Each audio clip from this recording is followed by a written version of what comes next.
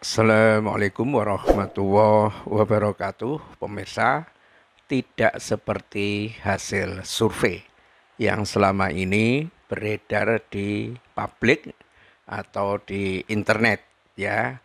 Survei-survei yang rajin sekali dan menurut Abdillah Taha seperti perusahaan manufacturing yang bahan bakunya itu memang udah disiapkan berjilid-jilid gitu kan sehingga hasil surveinya ya sama.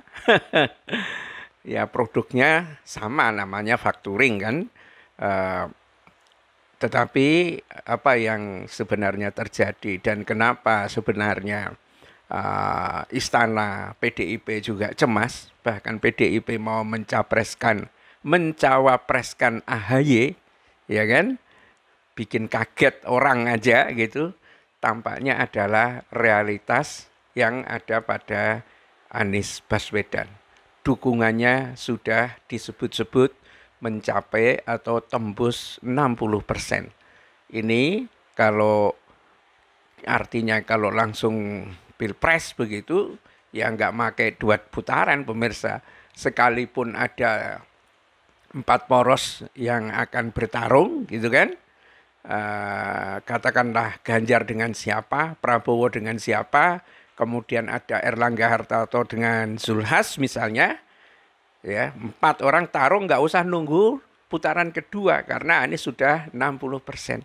Ini yang nyata-nyata tampaknya ditakuti oleh rejim ini sehingga berbagai upaya untuk membendung, menjegal, termasuk memberikan iming-iming kepada Demokrat bahwa AHY namanya masuk dalam bursa cawapres PDIP ya itu dilakukan oleh mereka.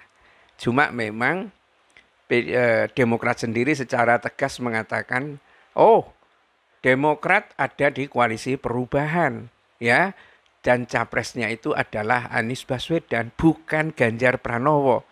Nah, mungkin ini negosiasi ini bisa gul kalau PDIP ikut-ikutan mencapreskan Anies Baswedan singkirkan Ganjar Pranowo. Tapi itu pun malah malah bisa jadi rakyat yang akan pontang panting, nggak cocok, nggak match gitu loh.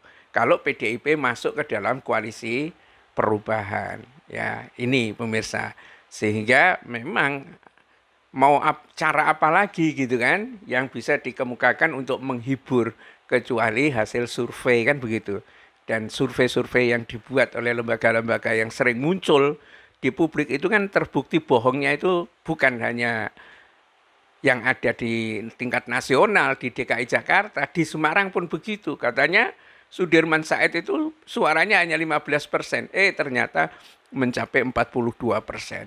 Jadi apa namanya margin errornya itu ya bisa 15 bisa 20 persen lah. Luar biasa memang kocaknya survei itu. Dan karena itulah tampaknya Kenapa koalisi perubahan itu uh, santai aja? Ya ibaratnya mungkin seperti gonggongan anjing gitu kan. Kalau banyak sekali anjing, anjing menggonggong begitu, satu-satunya cara itu ya uh, pakai headset saja ya dengarkan musik dan lain sebagainya sehingga su suara gonggongan anjing itu uh, tidak tidak terdengar tetapi sebetulnya ada juga sudah saatnya juga ini saran dari Lambe Waras ya koalisi perubahan uh, harus mulai rajin riset, uh, rilis hasil survei internalnya. Kan ada media Indonesia ada Metro TV dan apa pun hasilnya. Ya cuma memang nanti nggak enak juga barangkali kalau membuat istana cepat pingsan duluan. Ya gak rame kalau gak ada lo mungkin begitu. Dan ini pemirsa di bocorkan ya uh, dukungan Anies yang disebut-sebut uh, tembus 60% ini dibocorkan oleh Dr. Tifa ya yang membagikan angka dukungan terhadap bakal calon presiden koalisi Persatuan untuk Perubahan eh koalisi Perubahan untuk Persatuan KPP Anies Baswedan berbasis pada faktu faktual dan statistik ya dan Dr. Tifa yang juga pegiat uh, media sosial ini membagikan angka faktual dan statik, statistik terhadap Anies yang mencapai 60% dan berpotensi bertambah menjelang Pilpres 2024. Ya itu kalau misalnya ya semakin hari bongkar-bongkarannya semakin selesai ya. Karena politik pencitraan ini 10 tahun yang lalu mungkin masih ada orang orang merasa heran, uh capres ini masuk gorong-gorong ya. Uh capres ini bisa membagikan uh, sembako. Oh pesantren itu mungkin orang masih kagum. Tapi ketika ada pengalaman dalam satu rejim kayak begini, oh gayanya saja seperti orang kampung, plunga-plungu. Tapi tega menyengsarakan rakyat itu dan membuat sumber daya alam itu disedot habis oleh para mafia. Misalnya seperti itu, itu ya. Jadi sekarang ini pencitraan-pencitraan seperti itu sudah enggak lagi menjadi pertimbangan dari rakyat Indonesia. Apalagi ya kalau citranya cuma joget-joget petakilan atau jogging-jogging. Ya inilah yang bikin panik itu ya. Dan Dr. Vita mengatakan ini factual base, statistical base dukungan terhadap Anies Baswedan itu ya. Namun ia mengatakan ada satu cara yang membuat dukungan kepada Anies Baswedan itu turun yaitu serangan amplop dari pihak lain, duit maksudnya. Makanya sekarang ini pemirsa kita lihat saja modus operandi dari mereka itu ya bagi-bagi sembako.